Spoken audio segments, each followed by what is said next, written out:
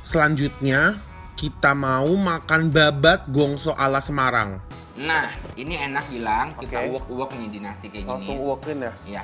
Aku Ini- mau cobain babatnya dulu deh. Oke, boleh. Coba kamu cobain. Boleh nggak ya? Oh wow. Gimana? Oh wow. Amazing. Oke, aku. Hmm. Bumbunya sih kak. Hmm. Ini ya, ini kayak gini di Semarang. Dini banget. Parah. Oi, oi. Pengen ke Semarang. Ini enak banget. Rasanya kayak di Semarang sih ini. Banget.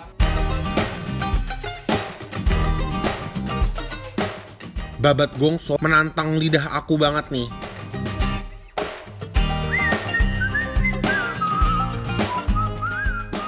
Babat gongso yang khas ini enak banget di lidah. Ini babatnya super duper lembut guys. Dan nggak ada alot-alotnya sama sekali ya. banget. Dan Nggak ini ada. rasanya jelasin Gilang rasanya kayak apa?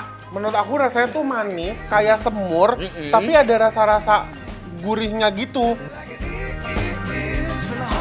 Bumbunya yang kaya akan cita rasa bikin rasanya jadi luar biasa. Kita sambelin yuk. Sambelin ya. Tuang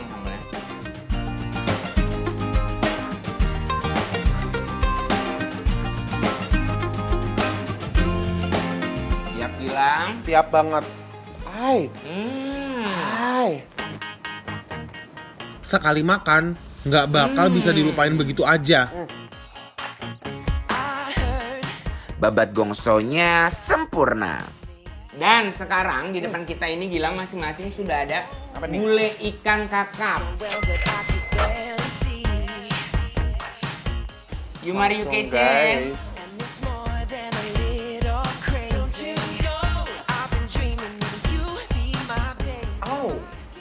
Lembut, lembut banget. Makannya nggak effort gitu. Mm-mm. Begitu sampai mulut gerjes. Mm-mm, langsung ambiar Gerjes guys. ambiar guys.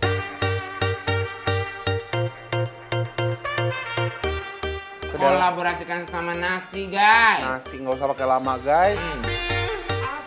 Makan gulai ikan kakap dikolaborasikan dengan nasi. Wah, asli mantap.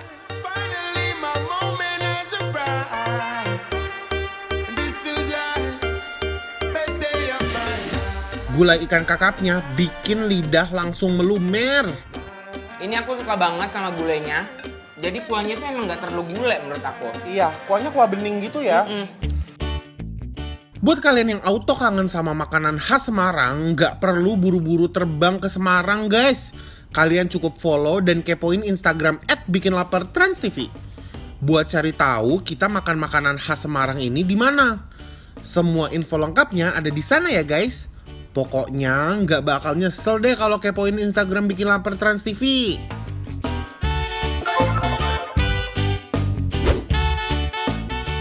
Setelah ini aku dan Fami mau makan seafood. Sesaat lagi ya guys, tetap dibikin lapar. Lapar terus.